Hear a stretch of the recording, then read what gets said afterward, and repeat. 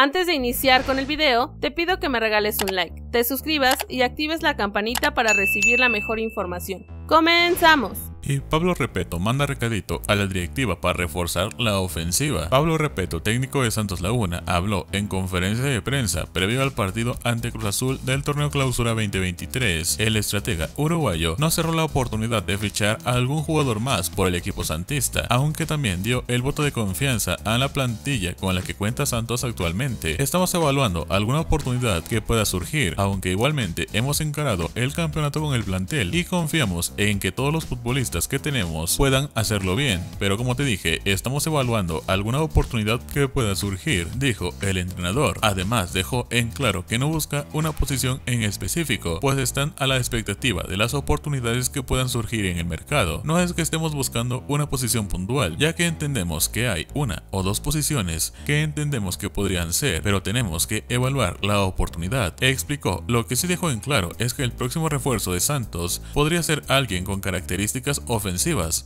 aunque tampoco quiso dar muchos detalles del perfil de este futbolista. En primera instancia es alguien más ofensivo, pero no quiero entrar en detalles para no generar especulaciones con cosas que no son concretas, dijo. Finalmente comentó que quien llegue debería de ser alguien mejor que el futbolista que pudiera tener en esa posición, por lo que esto deja entrever que el fichaje sería un elemento que pueda llegar a ser titular en el equipo. Estamos viendo oportunidades y si vemos un futbolista que está dentro de lo que podamos manejar y va a sumar para el equipo, ahí será el paso. No necesariamente tiene que ser una posición, porque no vamos a traer a un jugador que no esté por encima de lo que nosotros tenemos en el plantel. Cerró. Santos Laguna tiene hasta el 13 de septiembre para registrar algún jugador proveniente del fútbol extranjero. Por otro lado, Pedro Aquino estuvo a detalles de ser jugador de Cruz Azul. Pedro Aquino reconoció que estuvo muy cerca de llegar a la máquina en este mercado de verano, pero por algunos detalles no se pudo concretar su traspaso y finalmente decidió continuar su carrera en Santos Laguna. El peruano iba a ser un refuerzo de lujo para la máquina que en este periodo de transferencias ha tenido muchas complicaciones. Sí, fue cierto que me buscaron, estuve hablando con mi representante, estaba a punto de llegar pero por detalles no llegué. Hoy estoy muy contento acá, me abrieron las puertas, estoy en un gran club, dijo en entrevista exclusiva con Record. El mediocampista se sintió atraído por lo que le ofreció la gente de grupo Orlegui y dijo ser muy feliz en Torreón. Me plantearon cosas muy importantes para mi crecimiento profesional y para mi familia. Hicieron un buen planteamiento, por eso tomé la decisión de venir para acá. Es un grupazo, espero estar a la altura. En meses anteriores también se dijo que estaba tratando de irse a Europa. Que yo sepa, no se le presentó la oportunidad. No sé si mi representante tuvo algunas opciones. Siempre trabajamos de la mano. Él busca lo mejor para mí. Hoy sigo en México, que es como mi segunda casa, añadió. Pedro Aquino piensa que el partido contra Cruz Azul será muy complicado, pues los celestes saldrán con todo para sumar sus primeros puntos del torneo, pero confía en que Santos Laguna saldría victorioso del Estadio Azteca. Sabemos que es un equipo difícil que se hace fuerte en su estadio. Creo que debemos de preocuparnos por lo que vamos a hacer nosotros. Esto es fútbol, cada partido es diferente. Creo que enfrentaremos a un club grande y con buenos profesionales. Creo que van a salir a jugar como todos sus partidos. Ojalá que sea un gran partido, que gane el mejor. Finalizó. Y bueno, hemos llegado al final de las noticias de hoy. No olvides comentar ahí abajo qué te parecieron. Da like, suscríbete al canal y activa la campanita para así traerte siempre más y mejor información.